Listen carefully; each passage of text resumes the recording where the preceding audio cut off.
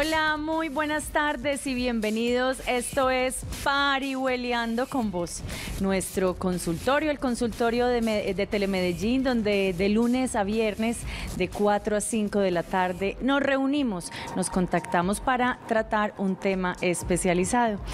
Esperamos que las novenas, este ambiente de Navidad los esté llenando de amor, de espiritualidad, de ganas de compartir. Eh, mensajes importantes, no a la pólvora, no queremos a nadie lesionado. Y también ese mensaje de unión familiar, queremos que sigan yendo a todos los eventos de nuestra ciudad, eh, pero con su familia, con sus hijos, con los abuelitos, todo está dispuesto para que vivamos de verdad una Navidad en familia. Andrés Felipe, muy buenas tardes, parihueleando con vos. Parihueleando con vos, Natalia, y parihueleando con ustedes, que todas las tardes muy juiciosos nos acompañan a las 4 de la tarde. Qué rico contar con su sintonía y sobre todo con que nos acompañen a parihuelear de diferentes temas. Un programa que les ofrece a ustedes temas de salud, de salud mental, temas jurídicos, temas de ciudad, variedades. Es lo que queremos, que ustedes tengan esa alternativa en Telemedellín a las 4 de la tarde. Pero eso es posible gracias a su participación cuando nos escriben, cuando nos dicen en la calle que quieren que nosotros toquemos, qué temas vamos a abordar en Parihueleando con vos. Nosotros en nuestro programa también obviamente tenemos un contenido enfocado al servicio social. Y parte de ese servicio social es generar conciencia ciudadana, de reflexión, de autocuidado de cómo no solamente tratamos temas de ciudad y de ciudadanía, sino seres, de, cómo ser eh, seres humanos integrales, que tengamos calidad de vida. Y para la calidad de vida, los temas de salud que tocamos en Pariboleando con vos, Natalia, son fundamentales. El tema de hoy, por ejemplo, es el Día Mundial de la Lucha contra el SIDA. Esto pues eh, tuvo una conmemoración a principios de este mes, el primero de diciembre, pero precisamente nuestra responsabilidad no es dejar simplemente que se quede ahí en una conmemoración, sino que día tras día, semana tras semana, como medio de comunicación, tendremos esa conciencia y esa reflexión de autocuidado que tenemos nosotros día tras día.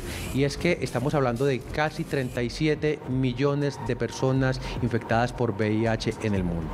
Y de ellas, no es para ser alarmistas, pero tenemos que también tener eh, muy presente esas cifras, que la gran mayoría son personas muy jóvenes, entre los 20 y los 39 años. Entonces, Natalia, creo que es hora de que iniciemos, sobre todo porque ya tiramos la primera perlita. Vamos a hablar de la lucha contra el SIDA y hablamos del VIH, entonces hay que desenredar toda esa telaraña. Hablamos de toda la enfermedad, que es la enfermedad del SIDA, la diferencia con el virus. Vamos a ver entonces cuáles son los síntomas, qué debemos hacer. Todo esto lo vamos a ver con el médico Carlos Julio Montoya, profesor, Facultad de Medicina de la Universidad de Antioquia. El doctor Carlos Julio es inmunólogo y doctor en ciencias biomédicas. Carlos Julio, muy buenas tardes, parihueleando con vos. Muy buenas tardes Natalia y muy buenas tardes Andrés. Encantado, feliz de estar aquí con ustedes, de esta invitación que he recibido para parihuelear con ustedes y con toda la teleaudiencia del programa, resolver las inquietudes y brindar educación desde la Universidad de Antioquia, la Facultad de Medicina. Muchas gracias por venir y estar con nosotros. Empecemos explicando esa diferencia porque la gente se confunde. SIDA y VIH. ¿Qué es el SIDA? Perfecto. el VIH es un microorganismo de un tipo particular que se conoce como virus, un microorganismo evolutivamente muy antiguo que posiblemente existe siglos atrás en diferentes especies animales y que a través de algunos mecanismos particulares de contacto pasó y se adaptó en el ser humano. Es decir, el virus, el VIH, puede ser adquirido por hombres y mujeres en diferentes estados de edad, en diferentes condiciones clínicas. Cuando el virus ingresa a la persona, establece la infección, se multiplica y se disemina por el organismo, establece lo que es la infección crónica que puede llegar a un estado avanzado que se conoce como el SIDA o el síndrome de inmunodeficiencia adquirida. El SIDA es el estado terminal, el estado final de la infección por el virus, por el VIH. Afortunadamente hoy estamos seguros de que no todas las personas infectadas por el VIH van a terminar en SIDA Anteriormente las personas consideraban que un infectado por VIH necesariamente era una persona con SIDA, pero hoy sabemos que eso no es así. Con los tratamientos, con los cuidados, gran parte de los infectados por VIH no necesariamente llegan al SIDA. Y es importante difundir eso con las personas para que cree la conciencia clara en la comunidad de que estar infectado no necesariamente estar en, en fase de SIDA. Muchos, posiblemente en el futuro, nunca van a conocer, como en el presente, qué es el estado de SIDA. Simplemente van a estar infectados por el VIH. Bueno, doctor Carlos Julio, aprovechemos también esta oportunidad para contar un poquito de ese trabajo que ustedes desde la facultad, desde la academia, aquí en este caso de la Universidad de Antioquia, pues han realizado en cuanto a las investigaciones. Porque, pues una cosa es que usted, además de ser profesor, también es inmunólogo y doctor en ciencias biomédicas. Entonces, todo esto cómo nos da el bagaje para poder saber un poquito más del desarrollo, de qué se está haciendo, cómo se está trabajando, no solamente en Medellín, sino en el contexto mundial para la prevención y también para la lucha contra el SIDA, que es el tema que tenemos hoy en Privolendo con vos. Y es, es fundamental que la comunidad conozca que no está sola cuando tiene que luchar contra el VIH. En el mundo, en la historia de la ciencia, en la humanidad, la enfermedad sobre la cual más se ha investigado es sobre la infección por VIH, por todas las connotaciones que ha tenido de tipo cultural, discriminatorio, político, económico, social. La Universidad de Antioquia no ha sido ajena a eso. Desde mm, los años 90, varios investigadores, varios grupos de investigación, como el grupo de inmunovirología, dirigido por la doctora María Teresa Rugeles, se interesó en realizar estudios para conocer inicialmente cómo estábamos en el medio en infección por VIH, pero luego ir adentrándose en el conocimiento del virus, en los mecanismos de infección, en los mecanismos naturales que muchas personas tienen para defenderse de la infección, porque ese es otro aspecto que es desconocido por la gente. Y es que una parte importante de la población tiene mecanismos genéticos o inmunológicos que le permiten ser resistentes a la infección por el virus. No todos tenemos la misma susceptibilidad a la infección. Esos mecanismos han sido profundamente investigados por la universidad y a través de las investigaciones de otras actividades de médicos infectólogos con la Fundación Antioqueña de Infectología, con el grupo de enfermedades infecciosas que está en la CIUM, se ha ido generando, digamos, una corriente importante de investigación en la universidad y sobre todo también de proyección a la comunidad para llevarle asesoría, educación y conocimiento sobre lo que realmente representa la enfermedad, la importancia del diagnóstico oportuno y de un tratamiento adecuadamente controlado. Hablemos un poquito como de esa historia, de pronto si no la puede hacer como en el mundo y lo que pasó en Colombia. En el mundo, hace unos años cuando alguien decía está infectado de SIDA, era prácticamente decir ya es la muerte. Entonces, ¿cómo ha cambiado eso y cómo también en el sistema eh, de la EPS antes tener la medicina para el SIDA no se encontraba y ahora se la están dando? ¿Por qué no hablamos un poquito como de esa historia, de ese recorrido? Mm, cuando se hizo la primera definición de casos de eh, síndrome de inmunidad adquirida en, los en el año 1981, los pacientes que se identificaban, lógicamente, eran aquellos que estaban en la fase final de la enfermedad, es decir, estaban en fase de SIDA. Entonces la, enfermedad en su primera definición tuvo un marco muy catastrófico, caracterizado por pacientes con pérdida progresiva de peso, muy desnutridos, con infecciones muy graves en diferentes órganos y sistemas que rápidamente llevaban a una muerte muy dolorosa, muy trágica. Ese fue como el impacto grande que le quedó a la gente en, su conciencia, en el alma y en lo que era su conocimiento de la enfermedad.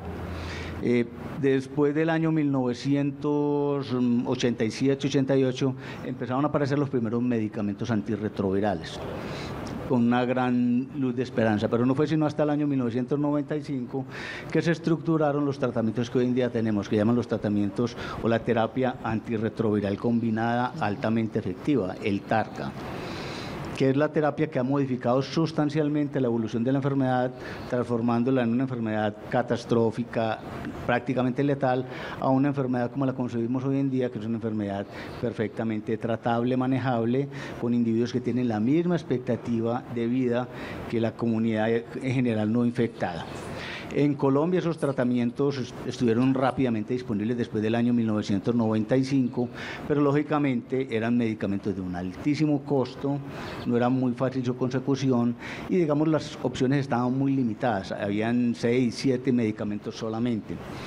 Entonces, los pacientes para la época que enfrentaban las fases graves de la enfermedad, la única opción era consumir estos medicamentos, la consecución no era fácil, las instituciones prestadoras de servicios de salud tampoco tenían todo el dinero y toda la facilidad, así que el inicio de la terapia antirretroviral en Colombia, digamos, fue un poco compleja. Esto ha cambiado dramáticamente eh, en el tiempo. Hoy en día, digamos, en Colombia tenemos una cobertura de medicamentos antirretrovirales excelente. Más del 90% de los pacientes diagnosticados y que requieren el tratamiento lo tienen, porque no todos los diagnosticados, ahorita lo podemos explicar, requieren el tratamiento pero la gran parte, eh, la gran mayoría de nuestros eh, eh, infectados por VIH que necesitan tratamiento lo tienen y tenemos disponibilidad en el país de los tratamientos más avanzados que existen en el mundo. Ya hay más de 26 medicamentos diferentes para tratar el VIH y lógicamente son medicamentos con diferentes propiedades, diferentes características, así que podemos decir que tenemos un tratamiento para cada paciente. Que un paciente de muchos años, tiene 60 años o más, hay unas, unas terapias que la experiencia ha mostrado que son mejores para ese paciente. ¿Qué es un niño? Hay unos regímenes especiales para los niños. ¿Qué es una mujer en embarazo? Hay un tratamiento particular para esas mujeres. Podemos decir que con esos 26 medicamentos, y me perdonan la expresión, uno puede jugar o uno puede em, generar alternativas que se adapten para el paciente joven que tiene enfermedad renal, el que no tiene enfermedad, el que sufre enfermedad cardíaca. Y lo importante es que esos diferentes esquemas permiten lo que, lo que les decía ahora, que hoy en día se considera era una enfermedad crónica tratable y que los enfermos o las personas infectadas por el VIH tengan una expectativa de vida similar, si no igual, a la población general no infectada. Doctor Galo Julio, yo quiero aprovechar que estamos haciendo contexto porque todavía tenemos unos minutos antes de que nos vamos a mensajes y que quede muy claro en la población, en los televidentes de Pariboleando con Vos, de dónde viene toda la procedencia de esta enfermedad. Y porque quiero ser reiterativo también, ya que usted avanzó tanto, porque fue un impacto muy grande a quienes nos tocó en esta generación, quienes veíamos en televisión, cuando veíamos los medios de comunicación, cuando veíamos muchas películas que tuvieron un auge muy grande a finales de los 80, inicios de los 90. Claro, se hablaba con muchos tabú sobre el tema. Pero entonces ya aquí queda mucha claridad de lo que sucedió a mediados de los 80. Pero nos puede dar un poquito más de contexto de dónde surgió, porque es una enfermedad relativamente nueva en el, en el contexto médico, porque si hablamos del cáncer o de otras patologías dentro de la humanidad, ha tenido de verdad pues tanta, tanta trascendencia que ya son muy similares, ¿cierto? Muy comunes más bien, por decirlo así. Y nos ayuda para que los televidentes también entiendan, ¿no? Que aunque sea algo más nuevo, precisamente también hay que bajarle un poquito a todos esos tabús con los que se ha trabajado eh, durante la existencia de esta enfermedad a partir de las décadas de los 60, 70, 80, que ya se vino a conocer más en los 80, ¿cierto? Sí, sí Andrés. Mm, esa es una historia absolutamente hermosa, la forma como la ciencia ha logrado profundizar y caracterizar hasta casi que con fecha el origen de la infección por VIH en el humano es una cosa excepcional. Lo voy a tratar de explicar en términos mm, lo más sencillos posible. Por favor, sí, señor. Resulta que muchas especies animales, no solamente los seres humanos, casi todas las especies animales sufren infecciones por virus, bacterias y hongos. Y esos virus, esas bacterias, esos hongos están muy adaptadas en cada especie. Hay una forma de transmisión de las enfermedades que llaman la zoonosis. Son enfermedades humanas por microorganismos que originalmente no eran de los seres humanos. Por ejemplo, la tuberculosis es una, es una infección que es de origen eh, bovino. Nosotros adquirimos la tuberculosis del ganado, de, la, de las vacas, muy posiblemente a través de la leche, puede haber sido un mecanismo. Hay muchos otros tipos de zoonosis. Pues resulta que los virus de inmunodeficiencia de los simios, del chimpancé, del orangután y de unos simios muy pequeñitos que se llaman los sutis, esos virus se adaptaron y pasaron al ser humano. Muy posiblemente a comienzos eh, del siglo XX, por el año 1900, cuando se desplazaban mercaderes de Europa a cazar eh, chimpancés para los zoológicos o buscando las pieles o, orangutanes para venderlos a los zoológicos o a los circos, en el forcejeo, en las lesiones o procesando las pieles, surgían cortaduras, lesiones, a través de los cuales los virus de inmunodeficiencia de los simios, del chimpancé, del orangután o de los sutis pasaron a los seres humanos.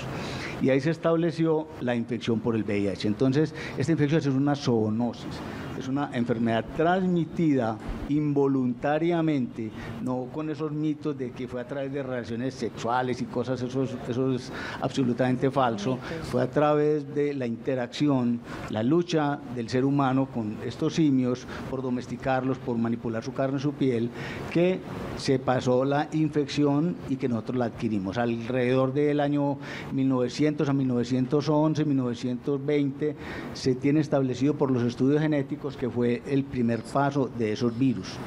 Ya esos virus, que tienen una capacidad muy particular de ir cambiando cada que se multiplican, han evolucionado en nosotros como especie. Y ya tenemos del VIH1, no solamente un VIH1, sino que tenemos muchos subtipos y dentro de esos subtipos muchas variantes. Y en un mismo individuo por sus hábitos de vida, puede inclusive infectarse con un VIH tipo 1 de, un subtipo y un VIH1 por otra relación de otro subtipo y en el mismo individuo generar virus recombinantes, que es una de, digamos, de las tendencias más dominantes en el mundo hoy en día, que el virus va evolucionando en nosotros como especie y va generando también virus recombinantes. Entonces es una zoonosis que se adquirió desde, desde los simios, posiblemente en esa lucha por nosotros eh, usar su carne, sus pieles o, eh, capturarlos para comercio a los circos y a los zoológicos. Estamos hablando con el médico Carlos Julio Montoya sobre el SIDA y vamos a seguir parihueleando después de este corte de mensajes institucionales.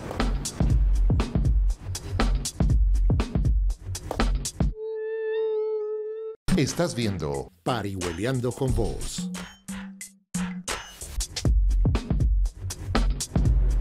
Seguimos parihueleando con vos y hoy parihueleamos sobre el Día Mundial de la Lucha contra el SIDA que se conmemoró precisamente a principios del mes de diciembre, el primero de diciembre.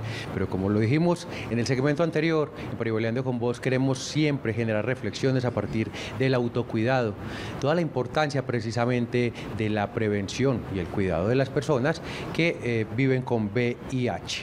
Aquí retomamos que estábamos hablando de dos términos. VIH, lo mencionábamos, es el virus que si evoluciona en algunas personas puede causar el SIDA. Lo hacemos con el doctor Carlos Julio Montoya, profesor de la Facultad de Medicina de la Universidad de Antioquia, inmunólogo y doctor en ciencias biomédicas.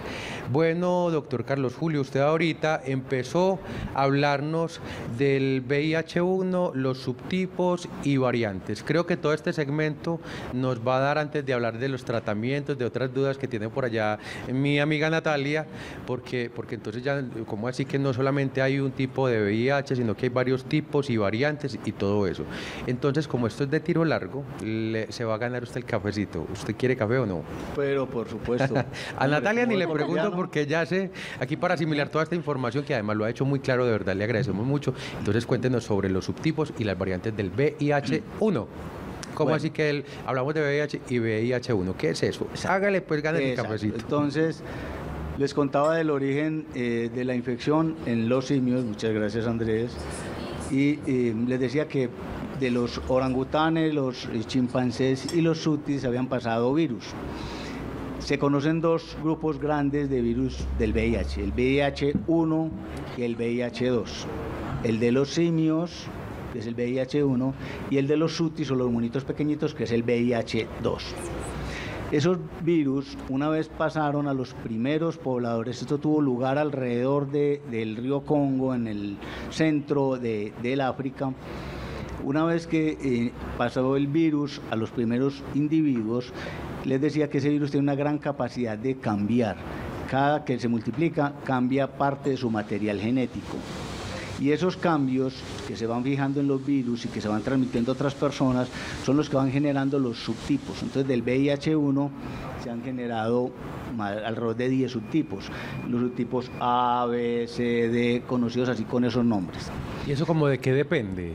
Depende de la capacidad que tiene el virus de en un individuo hacerse eh, muy replicativo, muy multiplicador, muy efectivo para, para infectar y de acumular cambios en su material genético que lo adaptan a ese individuo. Entonces, en la medida que el virus se va multiplicando dentro de un individuo, va acumulando cambios en su material genético que lo hacen que sea muy adaptado. Es decir, que pueda sobrevivir en ese individuo, evadir los mecanismos de defensa del individuo y tener éxito reproductivo. En la medida en que en diferentes individuos virus se fueron adaptando, fueron generando los subtipos del virus, del VIH1 y lo mismo en el VIH2.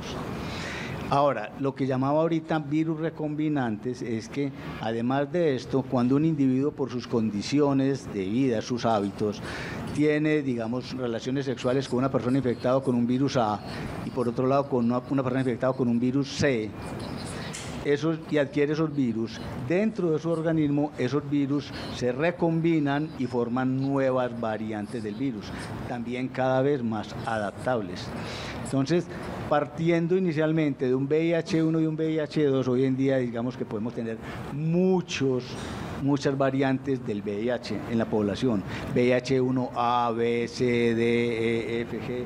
Muy y bien. además de eso, por hábitos de las personas, no solamente esos subtipos, sino la generación de las recombinantes, de la mezcla de dos o más virus dentro de un mismo individuo que generan nuevas variantes del virus. ¿Qué es lo, que, lo importante que tiene esto? La infección evolutivamente es muy nueva. Mire que les estoy hablando de unos 100, 110 años, a comienzos del siglo XX. Y en esos 100, 110 años de evolución de la infección en la especie Homo sapiens sapiens, ya se han creado una gran cantidad de virus recombinantes que pueden llevar a que se generen virus cada vez más adaptados y más peligrosos para la especie. De ahí la importancia del diagnóstico, del tratamiento y de la prevención, porque frenando la capacidad que tenga el virus de infectar a las personas y de forma recombinante vamos a frenar la posibilidad de que surjan, y me perdona la expresión, supervirus o virus muy recombinantes, muy adaptados, que sean más letales para la especie humana. Doctor, ¿cuáles son los primeros síntomas de una persona que ha sido contagiada por el, eh, por el VIH? Mm, Natalia, vea, eh, es complejo porque resulta que un 40-50% de las infecciones iniciales son clínicamente no aparentes. La persona puede tener un ligero malestar, un dolorcito de garganta. El cuadro clásico que se presenta en el otro 50-60% de las personas, que se conoce como el síndrome retroviral agudo, está básicamente caracterizado por un fiebre de unas dos o tres semanas de duración, malestar general, ganglios muy importantes, ganglios en diferentes localizaciones del cuerpo, de pronto diarreíta, pérdida de peso, inapetencia. Muy rara vez, pero muy rara vez se pueden presentar manifestaciones graves al inicio de la enfermedad. En algunas personas les puede dar un cuadro similar a una meningitis, pero que es limitada en el tiempo, de unas pocas semanas de evolución. Y en otras personas les puede, puede, digamos, aparecer con algunas afecciones, unas infecciones más serias, una tuberculosis u otras eh, infecciones serias, pero habitualmente 40-50% no produce síntomas y la gran mayoría de veces es fiebre, malestar. O sea que ahí la gente no, las personas no consultan porque piensan de pronto que es una gripa. Podría pasar eso. Absolutamente. La educación ha permitido una cosa, que ya en algunos casos una persona que sabe que tiene conductas de riesgo y que después de una situación de riesgo, a las dos o tres semanas empieza a tener esos síntomas, personas consultan. Eso ha dado origen a que en el mundo se hayan podido detectar pacientes recientemente infectados, pero no es lo más común. Muchas personas por miedo u otras personas porque no lo, no lo asocian con la conducta de riesgo, simplemente pasa como una eh, infección, un dolor de garganta o una infeccióncita desapercibida y no se dan cuenta, no se percatan de que adquirieron la infección por el VIH. Doctor Carlos Julio, estamos hablando precisamente de las situaciones de riesgo. Eso nos ayuda entender también entonces, bueno, cuando eh, estamos en una situación de riesgo, cuando somos conscientes de que de pronto hemos tenido algunas prácticas que nos podrían haber llevado al contagio por VIH, pues eh, bueno, habría más claridad para la atención. Pero cuando no tenemos muy presente cuáles son esas conductas, entonces es precisamente cuando se maximizan esos riesgos de que la enfermedad sea muy, mucho más difícil de tratar. Hablemos en un paso a paso, muy desglosado, por favor, de todas esas posibilidades de transmisión y esos factores de riesgo que implica también eh, la posibilidad de, estar infectados con VIH. Sí, Andrés, mira, mm, yo creo que esta es como la información más sensible para la gente porque va a tumbar muchos mitos, pero también va a dar la posibilidad de que todos seamos conscientes de qué cosas de lo que hacemos habitualmente nos pueden poner en riesgo de una infección por VIH. Lo primero es decir que la infección por VIH la puede adquirir cualquier ser humano, independiente de su condición económica, política, ideológica, religiosa. La infección por VIH le da a cualquier, la puede adquirir cualquier persona de la sociedad.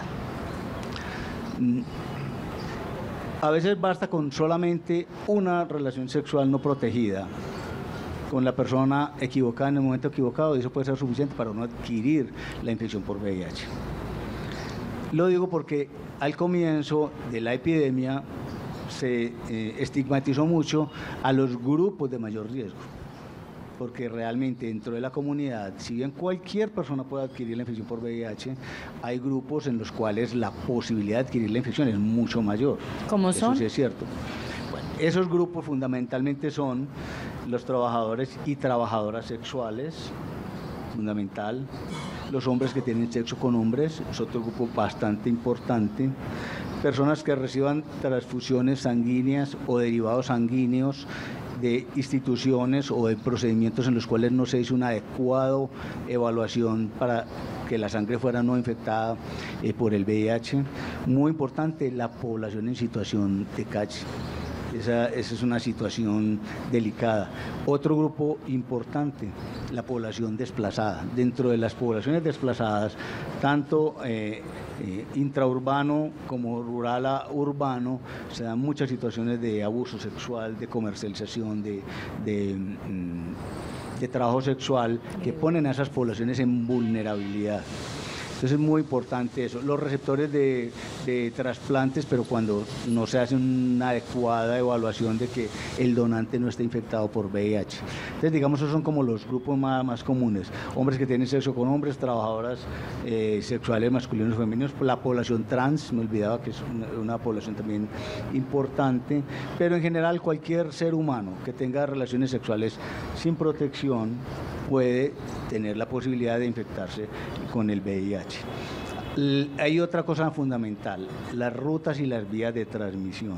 Realmente el virus no entra por transmutación bioenergética bipolar o por mal de ojo o por un... nada. El virus básicamente ingresa al organismo por dos vías. Por la vía la piel por la vía percutánea a través de chuzones, eh, accidentes laborales, eh, inyección voluntaria o involuntaria de un material contaminado y por la vía mucosa la mucosa eh, sexual, eh, ya sea genital, anal, oral, o también por la mucosa conjuntival, aunque es muy, muy raramente puede, se puede ver por la mucosa conjuntival o por la cavidad oral. El tercer mecanismo, que afortunadamente el control y la caracterización de la epidemia y el control de la epidemia ha reducido dramáticamente, es la transmisión de la madre al bebé durante la gestación, en el momento del parto y durante la lactancia. Esa casi que en muchas partes del mundo tiende a cero gracias al manejo adecuado de las mujeres infectadas durante el embarazo. Entonces, el virus no se transmite por picaduras de animales, no se transmite por un beso social, un beso afectivo, por un abrazo, por dar la mano. Por compartir la cuchara, los utensilios de cuchara, o el bus o el eh, metro, porque antes se pensaba hasta eso, por estornudar. Mm, mm, o que me fui a, una discoteca y fui al baño y entonces en el baño lo adquirí o nada de esas cosas. Fundamentalmente son la transmisión por vía sexual, es un mecanismo bastante importante en el mundo, alrededor del 85% de las transmisiones son por vía sexual. Mm, eh, la transmisión madre-hijo, que como les digo, está disminuyendo notablemente. Y luego están los accidentes laborales y la vía percutánea que se da en los usuarios de las drogas. Eh, psicoactivas por vía venosa, eh, morfina, LSD, etcétera, en esos individuos también es alta la transmisión. Entonces acabamos de ver los riesgos y veíamos como una persona al principio de la enfermedad, digámoslo, digámoslo así, presentaba unos síntomas muy leves que podían ser como una gripa pero al cuánto tiempo ya hay unos síntomas que de pronto le dicen a la persona, ve, es que tengo que ir a hacerme un, un, test, alguna valoración para saber si tengo el virus. Natalia, hay tres patrones de comportamiento de la enfermedad. El clásico que se llama el patrón típico, que son las personas que desde el momento en el que adquirieron la infección por VIH hasta el inicio de los síntomas importantes transcurren alrededor de 7 a 10 años, son los progresores típicos. Empieza habitualmente como un cuadro de pérdida de peso, crecimiento de los ganglios, la aparición de algunas infecciones como la tuberculosis, la neumonía más frecuente, enfermedad diarreica, y luego se va instaurando el cuadro clínico que sin tratamiento conduce a lo que decíamos ahora, el síndrome de inmunodeficiencia adquirida, que ya son las infecciones graves, aplastantes, los cánceres, esas enfermedades tan devastadoras pero hay otros dos grupos de comportamientos. Hay unas personas que se llaman progresores rápidos y son personas que se infectan aparentemente con un virus más letal, más adaptado y que en dos, tres años llegan a fase de SIDA, no en siete días, sino en dos o tres años, o personas que tienen unas constituciones genéticas particulares o unos estados de enfermedad de base importantes que hace que el virus más rápidamente progrese. Y en el otro extremo está lo que nosotros llamamos los no progresores o progresores lentos, que son personas que se infectan con el virus no reciben tratamiento porque están en un estado de defensas muy bueno, un estado clínico muy bueno, y pasan los años, y pasan los años, 5, 10, 15, 20 años, y esas personas sin tratamiento siguen en muy buenas condiciones clínicas y con un, estado de defensas óptimo, es lo que se llaman los progresores lentos o los no progresores, que son muy importantes para la ciencia porque en ellos muy posiblemente están los mecanismos naturales a través de los cuales nosotros podemos aprender cómo defendernos del VIH y son el objeto para el desarrollo de vacunas. Una parte importante del desarrollo de las vacunas para VIH está en comprender cómo una persona en la sociedad se defiende del virus sin tener tratamiento. Si aprendemos cuál es ese mecanismo y lo tratamos de reproducir a través de una vacuna, tendríamos una posibilidad muy importante de, de prevención de la infección por VIH sin necesidad de tratamiento de otras medidas. Estamos hablando de la lucha contra el SIDA con el inmunólogo y doctor en ciencias biomédicas Carlos Julio Montoya. Estamos parihueleando con vos y ya volvemos después de este corte de mensajes institucionales.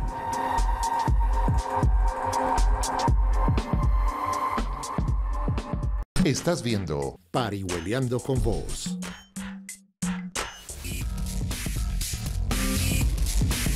Seguimos pariboleando con vos sobre el Día Mundial de Lucha contra el SIDA.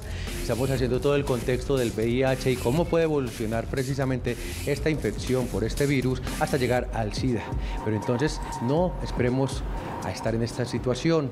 Aquí promovemos mucho el autocuidado y para el autocuidado hay que conocer nuestras prácticas y obviamente tener el soporte médico. Ya vamos a entrar en ese tema porque les quiero recordar precisamente quién es nuestro invitado. Él es el doctor Carlos Julio Montoya, profesor de la Facultad de Medicina de la Universidad de Antioquia, inmunólogo y doctor en ciencias biomédicas.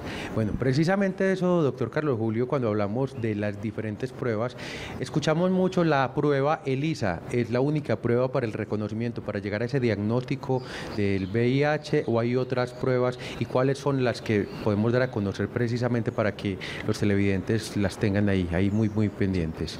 Bueno, en Afortunadamente, muy pronto después de la caracterización de que eh, la infección por VIH era debido a el virus que pasó de los simios a los seres humanos, estuvieron entonces disponibles, gracias a la investigación científica, las pruebas de laboratorio para la detección de la enfermedad. Eh, esas pruebas reciben diferentes denominaciones genéricas que el ELISA, que el cultivo, que el Western Blot, que la PCR, etcétera, etcétera. En general lo que la gente debe conocer claramente es que hay unas pruebas eh, para el VIH que hoy en día tienen una confiabilidad mayor del 99%, eso científicamente se llama una sensibilidad y una especificidad mayor al 99%, y que permiten en un esquema seriado el diagnóstico adecuado de cuando una persona verdaderamente está infectada por el VIH. Y además hay otras pruebas de laboratorio que permiten no solamente caracterizar si una persona está infectada o no, sino en qué estado está de la enfermedad, cómo están sus defensas, cómo están sus condiciones orgánicas basales y lógicamente eso permite a uno definir cómo hacer el pronóstico o qué tan importante es iniciar el tratamiento. Entonces el ELISA es una prueba, uno de los tipos de prueba disponible para la eh, caracterización de la eh, enfermedad. ¿Por qué el ELISA es tan popular? Porque es una prueba, digamos, que es muy rápida, es una prueba que es económica. Hay otras pruebas, por ejemplo, un cultivo del virus puede costar 2 o 3 millones de pesos. Una caracterización genética del virus, más que eso. Una prueba que se conoce como el Western Blot puede estar alrededor de 800 mil, un millón de pesos. Mientras que un ELISA que es una prueba de alta confiabilidad, cuesta alrededor de 40 a 45 mil pesos pero no es el costo, porque recuerden que a nivel mundial y particularmente en Colombia, el Sistema General de Seguridad Social en Salud tiene estas pruebas completamente gratis para cualquier persona, pertenezca al régimen que pertenezca. No importa si es contributivo, no importa si es vinculado o si está en el CISBEN, cualquier persona que desee conocer su estado de infección por VIH puede ir al lugar de salud en el cual le hacen la atención y solicitar la prueba para el VIH y en forma gratuita y con total eh, confidencialidad, guardando la confidencialidad, le van a realizar la prueba, ya sea el ELISA o la prueba que esté disponible. Como le digo, el ELISA es la más mm, popular a nivel mundial por los costos y por la altísima confiabilidad eh, que tiene esa prueba. Usted hablaba ahorita de la importancia de tener relaciones sexuales o con la misma pareja o tener siempre el uso del preservativo para no tener entonces la enfermedad. Eh, recuerdo, por ejemplo, la campaña que decía sin condón ni pío y no sé si se nos ha olvidado a nosotros como sociedad porque no hay campañas que lo estén reforzando constantemente o es de pronto el mensaje que también tenemos que decir aquí en Pariboleando con vos, que hay que usar el, preservativo siempre que hay una relación sexual. Sí, mm, realmente toda la estrategia de la prevención de la, de la enfermedad pasa por muchas eh, estrategias o, métodos, no solamente por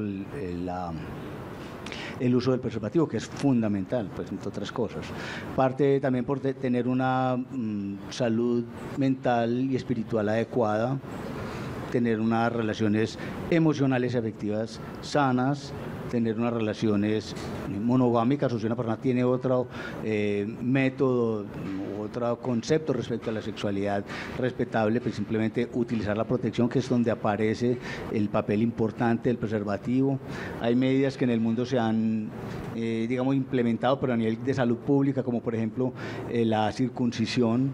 La circuncisión es bastante importante y eh, en poblaciones africanas ha disminuido importantemente la transmisión cuando se hace sistemáticamente. ¿Por qué? ¿Por qué la circuncisión es importante? Sí, porque es que definitivamente Mm, para que el virus ingrese al organismo en condiciones de una piel o una mucosa sana, eh, se dificulta el ingreso, es difícil. Cuando en un estado, uh, cuando hay un estado inflamatorio, quiero explicarlo como en términos que sean muy amigables para la gente, cuando en una piel o una mucosa existe un fenómeno inflamatorio, la posibilidad de que el virus ingrese al organismo se multiplica por miles. Me explico. Una mucosa cervicovaginal o un glande sano es difícil de colonizar por el virus y de penetrar por el virus. Pero si hay un herpes, si hay una enfermedad de transmisión sexual diferente al herpes, una clamidia, otras infecciones, si hay una uretritis, si hay una, una inflamación de la vagina, la infección, la posibilidad de infección se multiplica por miles. Entonces se sabe que cuando el glande es muy redundante y almacena secreciones, esas secreciones pueden generar un estado proinflamatorio un estado que facilita la transmisión de la enfermedad, eliminando esos, esos prepucios que son muy redundantes se disminuye la posibilidad de transmisión por eso, porque se disminuye la inflamación en el tejido y lógicamente el virus no va a tener una puerta de entrada tan expedita. Doctor Carlos, ah, perdón, va, a continuar. Termina, sí, entonces era como terminando la parte de la, les decía que la prevención, es muy compleja, va desde la parte cultural, espiritual, emocional, la, mm, calidad y la sanidad, me perdona el término, de las relaciones afectivas, las relaciones sexuales con su pareja, mm, evitar el número alto de parejas eh, sexuales, sexo con poblaciones de riesgo, es muy importante. Si alguien eh, de la audiencia considera que mm, pagar por el sexo o tener sexo con trabajadores sexuales es una opción, pues consideren que esa población es de alto riesgo y ahí tiene que ser muy estricta la protección. No así, digamos, con su compañero sexual habitual con el que ha tenido toda la vida y una relación monogámica. Y hoy en día hay otras tendencias muy importantes en, en la prevención de la enfermedad. Hay dos estrategias fundamentales. Una que tiene relación con el Día Mundial del VIH. No sé si conocen el lema del Día Mundial del VIH del 2018.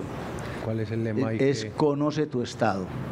Conoce tu estado está fundamentado en que cuando una persona sabe que es portadora de la infección por VIH, y tiene una sexualidad responsable y tiene un tratamiento adecuado, la posibilidad de transmitir la infección a otras personas se reduce prácticamente a cero. Es decir, una forma muy expedita que tenemos de evitar que la epidemia se expanda es saber cuáles personas están infectadas y ponerlas en tratamiento. Eso sería excelente porque sería casi que el fin de la epidemia en términos eh, muy, muy soñadores, pero sería el fin de la epidemia. Y segundo, ya tenemos otra actividad de prevención fundamental que se llama la terapia o la profilaxis preexposición y la posexposición. ¿En qué consiste? Como ya sabemos que hay fármacos o medicamentos contra el virus, que son los que llaman medicamentos antirretrovirales, como el virus es de la familia los retrovirus, los medicamentos que matan el retrovirus son los antirretrovirales, por eso ese nombre genérico. Esos fármacos tan efectivos para controlar la infección resultaron también muy efectivos para controlar la transmisión. Entonces, si una persona tiene unos hábitos de vida, porque es trabajadora sexual, hombre que tiene sexo con hombres y es muy promiscuo, o es una habitante de calle que es detectado en su situación de vulnerabilidad por el sistema de salud, y se le dan medicamentos, una tabletica diaria de un medicamento antirretroviral muy seguro, en forma permanente, disminuye más del 90% el riesgo de adquirir la infección. Y lo mismo, si una persona tiene unos hábitos normales, se tomó cinco whiskies en Cartagena y tuvo una exposición del más altísimo riesgo, puede ir al otro día a su sistema de salud y decir, señores, qué pena con ustedes, tuve esta situación, necesito ayuda, y se le da tratamiento durante 28 días con una reducción también de más del 90% del riesgo de adquirir la infección. Entonces hoy en día tenemos muchas estrategias de prevención, desde las culturales, conductuales, emocionales, hasta los métodos de barrera, pero también tenemos, y la, la comunidad lo tiene que conocer, la, la profilaxis preexposición para aquellas personas que por su condición ideológica o cultural le apuestan al riesgo o la profilaxis posexposición para las personas que eventualmente tienen una exposición de alto riesgo involuntaria sucede también, por ejemplo, en los ámbitos hospitalarios, con la enfermera, el médico, los auxiliares de enfermería, que tiene un accidente desafortunadamente dentro de su labor eh, mm, asistencial, esas personas se benefician de la, de la prevención post-exposición con una alta efectividad. Ahorita usted más o menos nos explicó que era una enfermedad oportunista, pero dejémoslo bien claro, eh, resumido, porque ya casi nos vamos para un corte de mensaje. Sí, eh, Natalia, mira, es, es algo sencillo. Resulta que cuando uno tiene una estado óptimo de defensas, como el, que tenemos muchos acá, afortunadamente, nosotros no estamos solos. Si vamos a mirar en nuestra boca, en nuestros genitales, en nuestra piel, en nuestro tracto gastrointestinal, habitan una gran cantidad de microorganismos. Muchísimos de esos microorganismos no hacen daño, pero hay otros que no hacen daño porque nuestras defensas están muy bien pero cuando nuestras defensas flaquean, esos microorganismos aprovechan la oportunidad de unas defensas bajas y generan enfermedad. Por eso llaman oportunistas. Entonces, como la infección por el VIH fundamentalmente es una enfermedad que ataca el sistema de defensas, destruye unos glóbulos blancos que se llaman los linfocitos TSD4 y otras células de las defensas.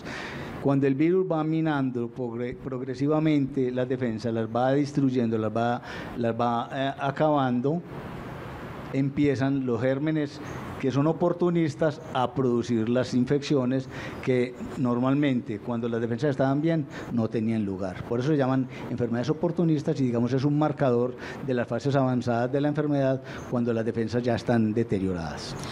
El lema para este año 2018, conoce tu estado. Vamos entonces a pelear con esta lucha contra el SIDA. Día de la lucha contra el SIDA. De eso estamos parihueleando con vos, con el doctor Carlos Julio Montoya. Ya volvemos después de este corte de mensajes institucionales.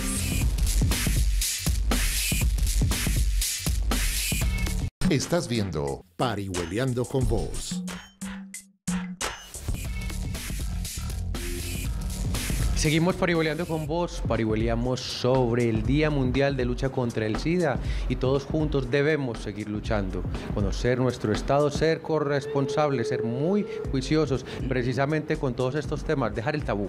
No, si tenemos prácticas que de pronto nos hacen vulnerables o estamos de pronto que no, no, no, sabemos cómo estamos actuando realmente en nuestros, sobre todo en nuestras relaciones sexuales, que muchas veces no somos juiciosos, esperamos que sí lo seamos, pues no, no le vamos a temer a ir a hacer esa consulta, los exámenes requeridos para conocer nuestro diagnóstico. Y eso nos lo está contando el doctor Carlos Julio Montoya, profesor de la Facultad de Medicina de la Universidad de Antioquia, inmunólogo y doctor en ciencias biomédicas. Bueno, doctor, ya conocimos eh, algunas definiciones que necesitábamos para acercar toda esta enfermedad a nuestros televidentes. También con Natalia pudimos desarrollar en el segmento anterior todos los temas de prevención, pero ya nos queda el último segmento para hablar de los tratamientos. Nos hablaba de 26 medicinas que según eh, la población, según el sector poblacional, ese diagnóstico del paciente y sus condiciones, pues se están utilizando actualmente. Entonces, ¿cómo vamos a ser tratados en el caso de que tengamos el diagnóstico de VIH? Bueno, en, concordancia con lo que veíamos ahora de Conoce tu Estado, aquellas personas que sean... Eh, oportunamente diagnosticadas como infectados por VIH, independiente de la fase en la cual se encuentren, porque eso es importante también. Los medicamentos no solamente son para las personas que estén en fase de SIDA, lo contrario, entre más temprano se inicie, menos va a ser el daño que el virus hace en el organismo. Entonces, cuando una persona eh, conoce su estado y sabe que está infectado por VIH, lo primero que tiene que hacer es acudir a la institución que es responsable de su atención en salud por normatividad en el país, cada una de esas instituciones debe tener un programa especializado de manejo de pacientes por VIH donde médicos entrenados adecuadamente, con conocimiento acerca de la evolución de la enfermedad, de las características, de cómo prevenir y de cómo tratar la infección por VIH, le va a prescribir su esquema de tratamiento. La infección por VIH no es una enfermedad letal hoy en día, es una enfermedad crónica perfectamente tratable, de acuerdo a la edad, condiciones de salud. No es lo mismo tratar un, una persona que tiene una enfermedad cardíaca o pulmonar o que tiene una enfermedad renal a una persona joven que no tiene enfermedades de base. De acuerdo con esa condición clínica, el médico experto en VIH determinará cuál es el esquema de tratamiento a seguir. La gran mayoría de personas infectadas por VIH tienen necesidad de tratamiento. Hoy en día la gran mayoría de personas se tratan. Solamente algunas pequeñas personas que vimos ahora como los no progresores o progresores lentos, que tienen un estado de salud óptimo, unas defensas óptimas a pesar de que el virus está haciendo su trabajo en el organismo, esas personas inicialmente podrían no recibir tratamiento, pero la gran mayoría de personas hoy en día reciben tratamiento para la infección en esquemas muy particulares, empieza con un esquema general que se va modificando de acuerdo a las necesidades y las características del paciente la tolerancia, eh, sus hábitos de vida. Hay esquemas que, inclusive tenemos esquemas de un solo, una sola tableta diaria, que son, digamos, los más eh, apetecidos en el mundo en ese momento. La infección se trata habitualmente con tres medicamentos de dos o tres familias diferentes de medicamentos.